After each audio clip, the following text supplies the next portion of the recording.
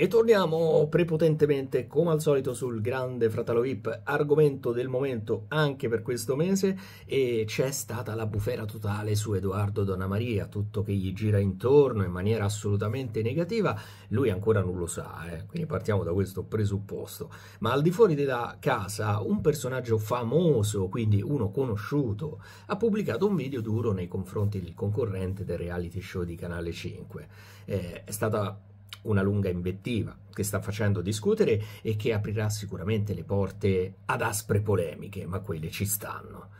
E ora ha ah, il volto di forum nel momento in cui sarà informato di tutto questo, insomma nel momento in cui verrà a conoscenza di tutto questo, potrebbe replicare già nella prossima puntata in diretta con il mitico Alfonso Signorini al timone. E i telespettatori sono già in trepidante attesa e te credo perché gli piace il chiacchiericcio che c'è e poi vuole vedere i casini che succedono. All'esterno del GF VIP 7 questo quanto dichiarato su Edoardo Donnamaria. A me sinceramente questo ragazzo comincia a fare pena perché evidentemente pieno zeppo di problemi psicologici, è molto molto insicuro perché ormai sono mesi che mi scredita agli occhi di Antonella per prendere punti. Ma una persona che scredita un'altra persona senza neanche conoscerla è evidentemente molto insicura. Quindi, non sta facendo una bella figura. Ma non è finito qui il suo attacco.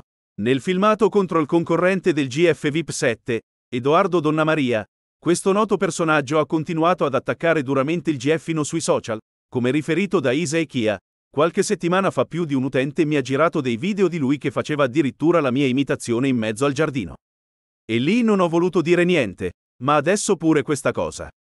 Sinceramente mi sono rotto le PA, mi prende sempre in giro che sono troppo muscoloso in maniera dispregiativa. Ma vatti ad allenare. A prendere di mira Donna Maria è stato l'ex di Antonella, Francesco Chiofalo, che ha risposto a queste parole di Edoardo. Semplicissimo, tutto tatuato con un Rolex.